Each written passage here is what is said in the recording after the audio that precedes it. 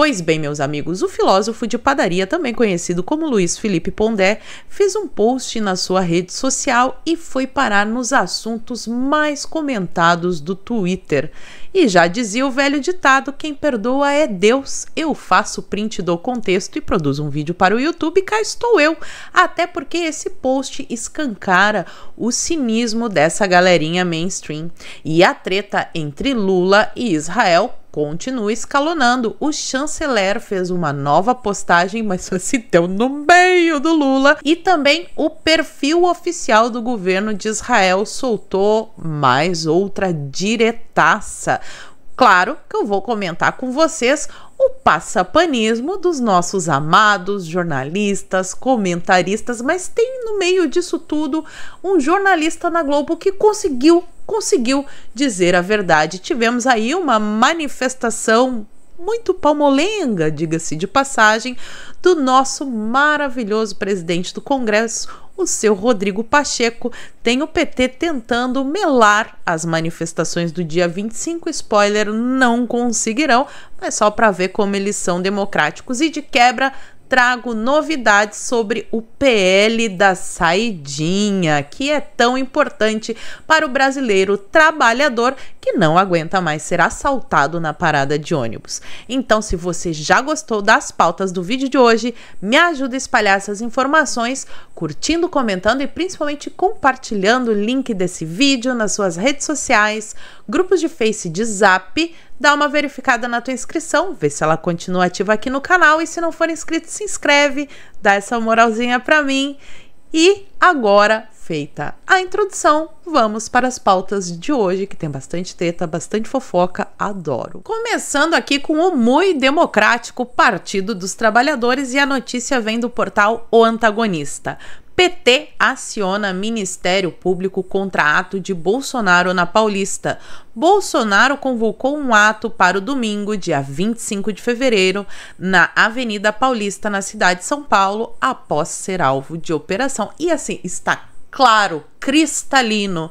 O Bolsonaro falou: o ato é para que eu possa me defender das acusações para pedir a volta do Estado Democrático de Direito, pediu para o pessoal não levar cartaz, não levar lá, lá, e que é um ato pacífico.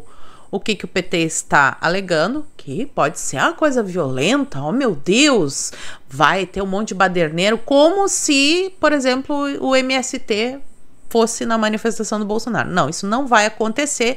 E enquanto estivermos numa democracia, que é o que eles dizem, as pessoas deveriam, pelo menos, poder se manifestar de maneira ordeira, como a direita fez por anos e anos e, inclusive, conseguiu derrubar a Dilma, que eles dizem que é golpe, né? Dói, dói demais, o PT não tem público. Saíram umas matérias aqui, antes da gente entrar nos outros assuntos, que eu achei interessante comentar com vocês. Primeiro é essa matéria aqui do Estadão falando sobre ligações cabulosas contador de Lulinha diz ter ganhado 250 vezes na loteria e admite trabalho para traficante do PCC. Em depoimento sigiloso para a polícia, Muniz contou que foi apresentado à cara preta pelo empresário Antônio Gritzba, acho que é assim que pronuncia, acusado de lavar dinheiro para a organização criminosa. A defesa de Lulinha diz que as investigações sobre Muniz nunca atingiram o filho do presidente. Mas é que é curioso, né? Casualmente ele tá ali, parece que era contador do Lulinha, atua nessa organização e muito sortudo. Ganhou 250 vezes na loteria. Que momento! Não posso nem comentar muito, só li a manchete mesmo, porque saiu no Estadão. E aí, se sai no Estadão, não é fake news. Saiu essa outra aqui no Metrópolis. PF investiga produtoras de funk por lavagem de dinheiro para a mesma organização criminosa. Essa organização criminosa parece estar em alta depois de né, 2023, não sei, parece. Relatórios do COAF enviados à Polícia Federal apontam movimentações milionárias nas contas de duas produtoras de funk que têm ligação com o PCC. E olha, se investigar bem direitinho, bem investigadinho, pode ser que ache uma agência que inclusive esteve envolvida aí numa outra treta com fofoca, ia ter CPI. Não se falou mais sobre o assunto, porque o Brasil é um turbilhão de novidades acontecendo, mas a gente ainda não esqueceu desse caso da Jéssica. Será que investigando esse daqui não chega lá na produtora, gente? Não sei. Pergunto. Deixa aí nos comentários. Passemos agora para o cinismo de Luiz Felipe Pondé, que ontem, às 10h27 da manhã, soltou essa daqui. O PT é uma catástrofe histórica.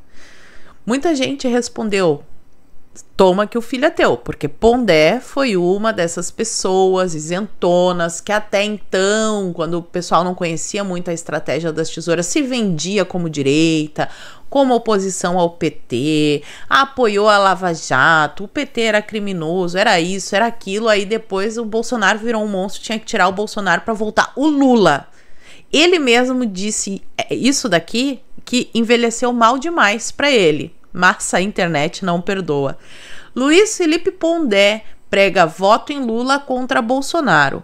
Tem tendência apaziguadora e é muito mais inteligente filósofo neoconservador que serviu de linha auxiliar para a eleição de Bolsonaro, Pondé diz que Lula será o candidato conservador em 2022. Olha que beleza o Pondé.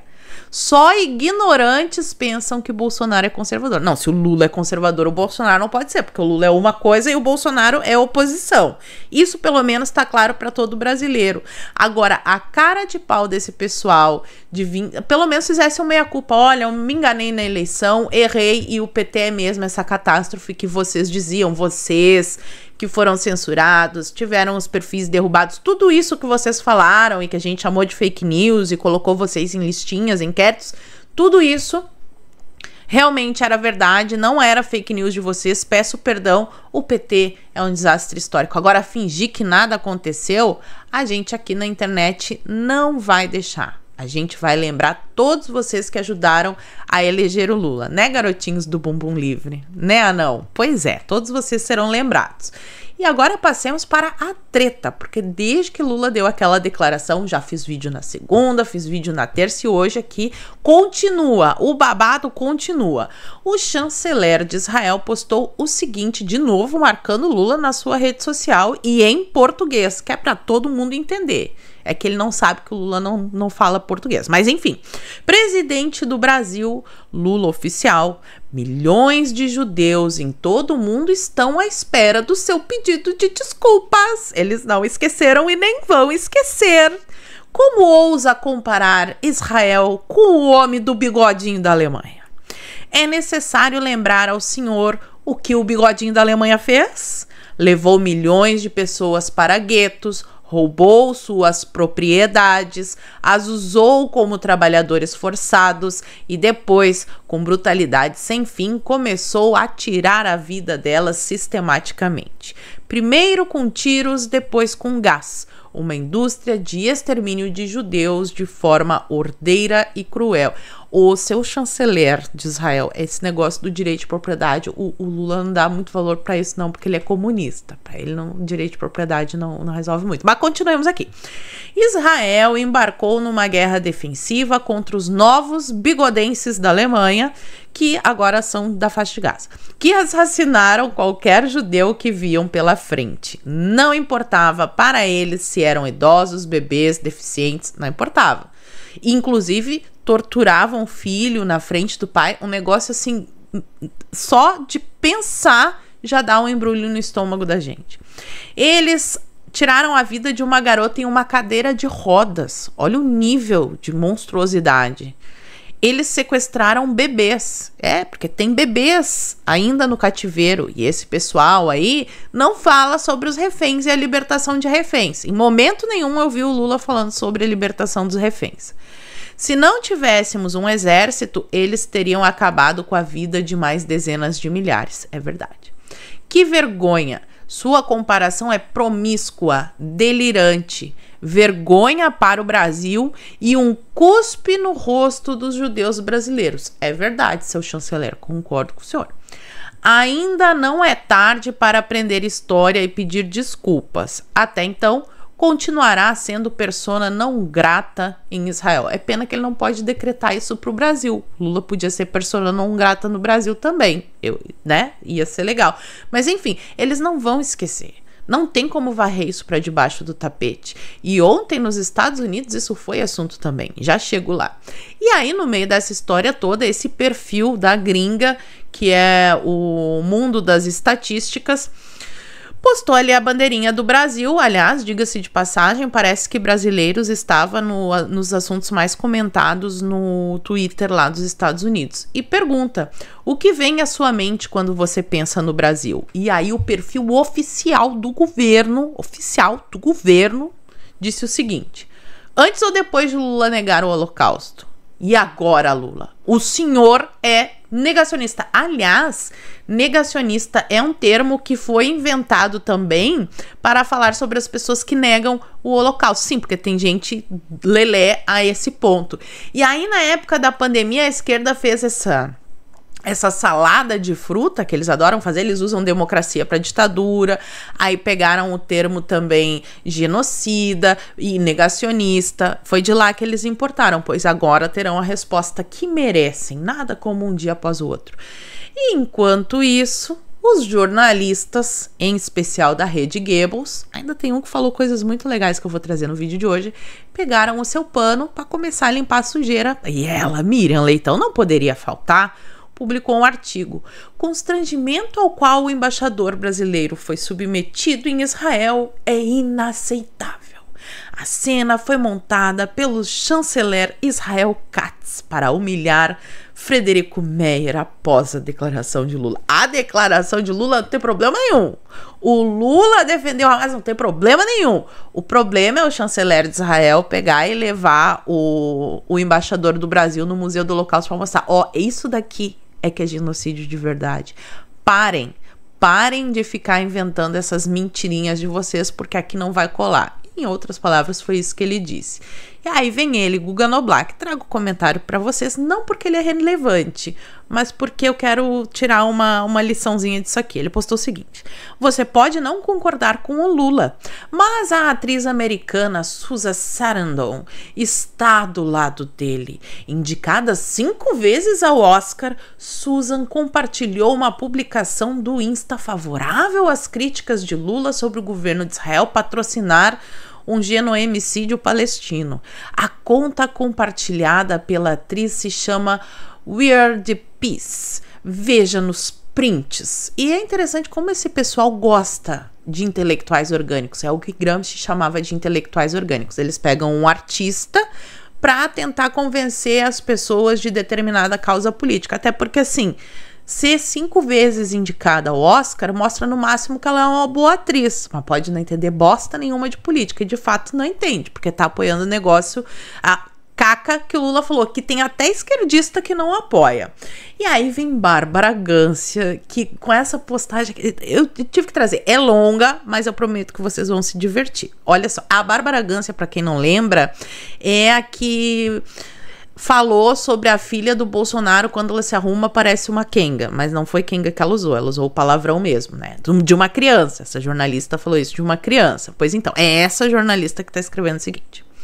Sonhei que o Lula tinha se arrependido de falar pelos cotovelos e que ele, envergonhado pelo comportamento juvenil que apresentou em Addis Abeba, tinha demitido Celso Tamborim e confinado Janja aos aposentos do Alvorada, sua verdadeira área de excelência. Pois bem, já começamos aqui. Né?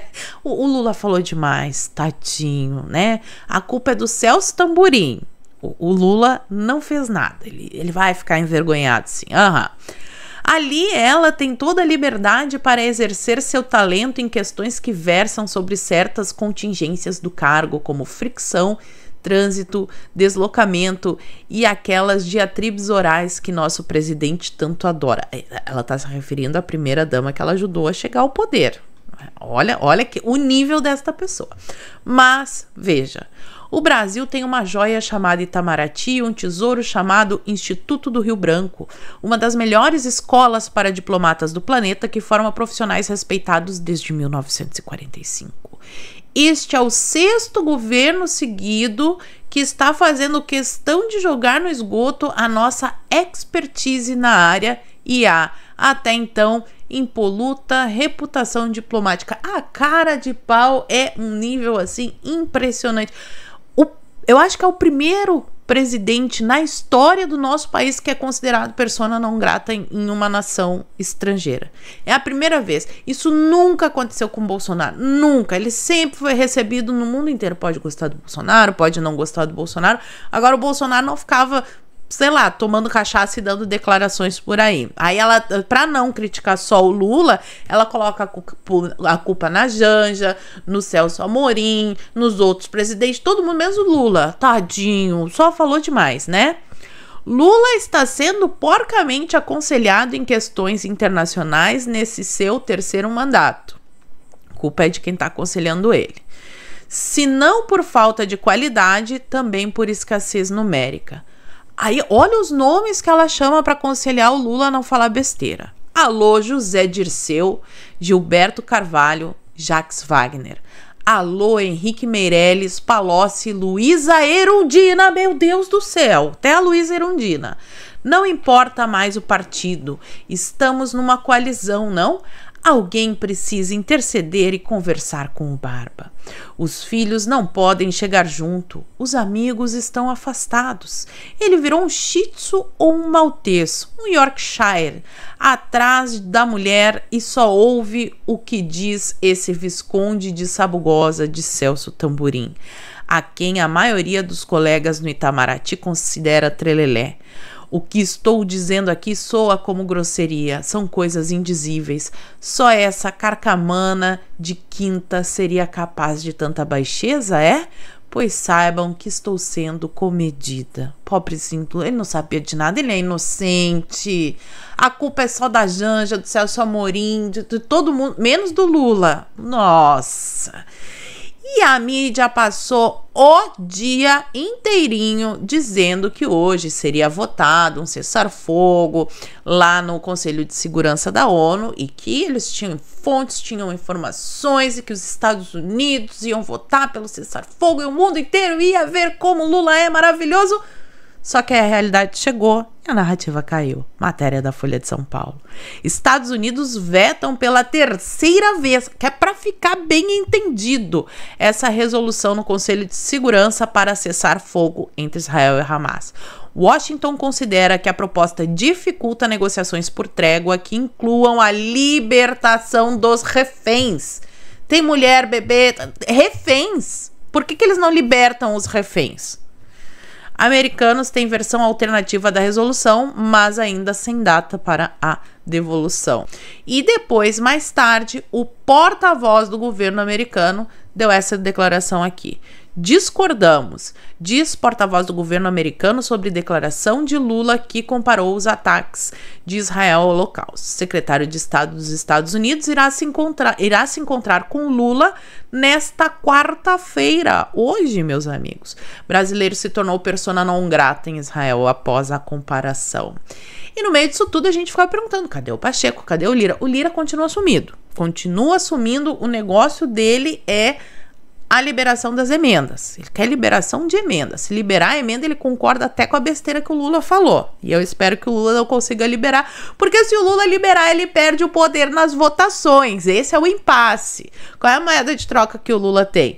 Libera a emenda para o parlamentar votar o que ele quer. Se ele liberar para ter um calendário de emendas, como o Lira quer, o Lula perde o poder. E se ele não liberar, o Lira talvez fique mais simpático ao impeachment, que falaremos dele também. Mas o Pacheco falou. Pacheco, com toda a sua palmolência, falou. Pacheco pede que Lula se retrate de fala sobre Israel. Presidente do Senado chama a declaração de equivocada. Declaração equivocada. Mas diz que ela não representa o verdadeiro propósito do petista. Vamos ver aqui. Ele disse o seguinte: não podemos compactuar com as afirmações que compararam a ação militar que está ocorrendo na região neste momento com o Holocausto, diz Pachecuzão. Estamos certos de que essa fala equivocada não representa o verdadeiro propósito do presidente Lula, que é um líder global conhecido por estabelecer diálogos e pontes, mas só se for uma ponte superfaturada. Se for uma ponte superfaturada, realmente ele fez várias, mas vamos lá. Pontes entre nações, motivo pelo qual entendemos que uma retratação dessa fala seria adequada pois o foco das lideranças mundiais deve estar na resolução do conflito entre Israel e Palestina. Ai, Pacheco. Alguém, pelo amor de Deus, dá uma injeção de testosterona no Pacheco, que é para ver se ele entende a situação. É tão grave que até o jornalista da Rede Goebbels, o seu Demetrio Magnoli, que aliás eu acho que o Demetrio Magnoli anda falando demais, daqui a pouco vão demitir ele da Globo, mas enfim, olha só o que o cara disse. Eu concordo com tudo que ele disse. Foi sensacional isso aqui. O conceito de que Lula teria falado isso tomado pela emoção ou por indignação é falso. Não é um improviso desastroso, porque as declarações dele são a cópia exata da propaganda adotada por organizações que são contra a existência de Israel. Lula não criou isso. Ele repetiu como um papagaio uma linha política. Ele sabe do que está falando, afirma Demetrio Magnoli sobre as falas antissemitas. Comentarista questiona qual seria a posição do país. Vamos romper relações com esse país que age como o bigodinho da Alemanha?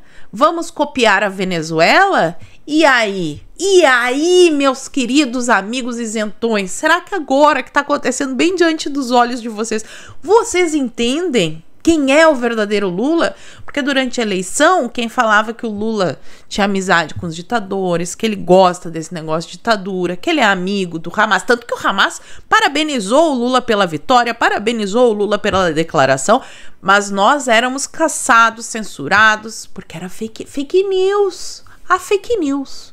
Agora tá aí. Quem sabe caiam, caiam na real e vejam a bosta que fizeram, peçam desculpa, se arrependam. Vamos, vamos voltar para democracia, vamos viver todo mundo na democracia.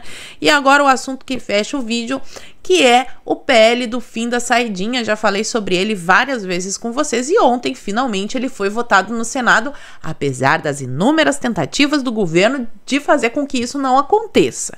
Senado aprova PL do fim da saidinha e nova derrota para o governo. O fim da saidinha do bandido presidiário que acaba com a vida de policial, que acaba com a vida de trabalhador, que abusa de mulher, é uma derrota para o governo e quem está dizendo isso é a Globo. Vai vendo o tipo de governo que tem no Brasil. Projeto ainda deve voltar à Câmara antes de ir à sanção do presidente Lula. O Planalto orientou o voto contra. O Planalto não quer o fim da saidinha. Fala isso para qualquer pessoa, não importa se é de direita, esquerda, transversal.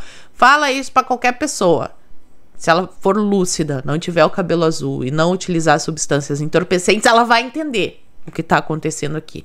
Que fique bem claro, ó, o governo estava estudando estratégias para tentar barrar o PL. Randolph Rodrigues ovulava e saltitava naquele Senado, tentando impedir de todas as formas, tentando fazer com que a votação não fosse nominal. Vou comentar isso, sobre isso na live, até tá o meu canal de live aqui, daqui a pouco meio-dia tem live lá. Corre para assistir se quiser ver mais aprofundamento. E Aqui, terminando com o sambista da Globo, Valdo Cruz, governo Lula deve vetar fim das saidinhas se o projeto for aprovado pelo Congresso. Será que é alguma promessa de campanha? Não sei, não sei por que, que eu falei isso. Meu Deus, tô louca. Comenta aqui pra mim. Eu quero saber a opinião de vocês. E por hoje eu vou ficando por aqui. Muito obrigada por terem assistido ao vídeo até o fim. Fiquem todos com Deus. Um beijo e até a próxima. Fui.